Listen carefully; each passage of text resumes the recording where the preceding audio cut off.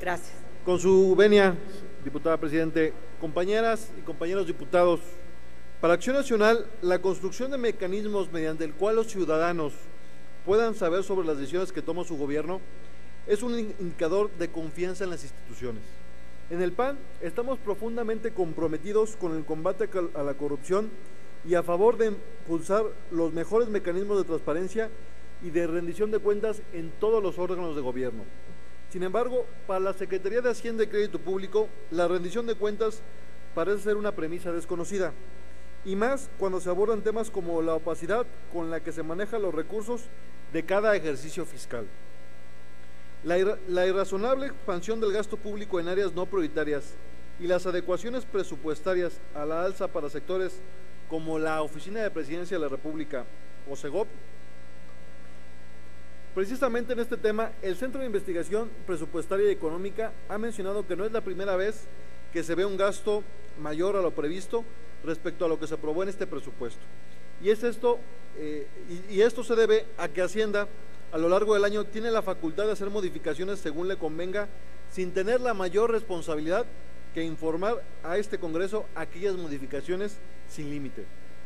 Este juego perverso de la Secretaría de Hacienda afecta a la estabilidad económica pues mientras que por un lado se anuncian recortes sensibles a sectores estratégicos como salud, jóvenes, infraestructura, deporte y agua potable, por el otro se hacen adecuaciones fuera de proporción. Pongo estos ejemplos.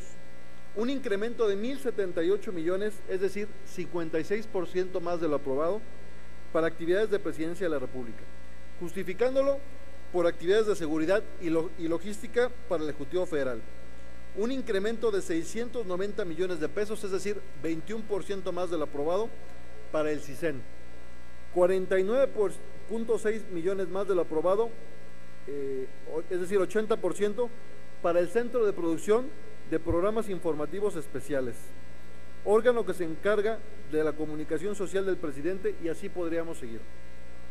En contraste, ese mismo año la Secretaría de Hacienda y Crédito Público redujo el presupuesto de importantes programas para la ciudadanía, como por ejemplo 400 millones menos, es decir, 18% menos de lo aprobado, para el Instituto Nacional de la Infraestructura Física y Educativa, el INIFED. Una reducción de 2.400 millones menos para el CONACIT. Una reducción de 3.207 millones menos para Semarnat. Y aquí quiero aclarar específicamente una gran parte es de reducción en programas de infraestructura de agua potable, alcantarillado y saneamiento.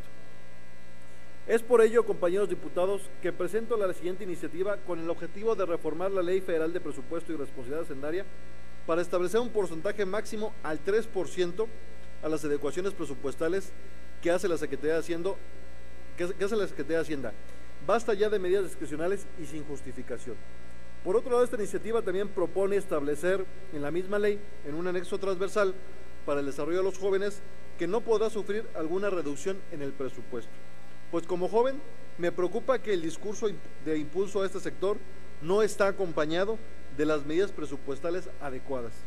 Y es por ello que esta iniciativa pretende fortalecer el brazo económico de las disposiciones que puedan contemplarse en la Ley de Juventudes que ya se analiza actualmente en esta soberanía. Ahora bien, hablando de políticas para jóvenes, la segunda iniciativa que vengo a presentar el día de hoy busca derogar y adicionar diversas disposiciones a la ley de impuestos sobre la renta para autorizar la deducción de impuestos de una parte proporcional del costo total de la renta de una casa habitación, ya que para un servidor garantizar a las y los jóvenes el acceso a servicios como la vivienda sienta las bases para que la, la juventud mexicana sea un grupo productivo que participe activamente en el desarrollo de este país. Este tipo de apoyo, eh, como se compone esta iniciativa, puede ser muy benéfico para la población que se encuentra en condiciones limitadas para adquirir una vivienda como son los jóvenes, para que puedan desarrollar un historial crediticio y aumente sus, sus posibilidades a un futuro de poder también tener una vivienda propia.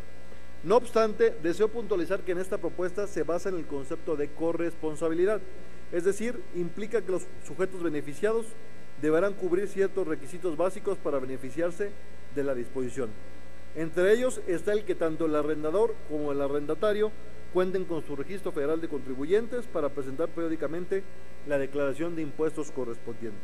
Estoy convencido de que estas iniciativas que hoy propongo y pongo a su disposición abonarán de manera sustancial al bienestar de todas y todos los mexicanos, por los que les pido su voto a favor.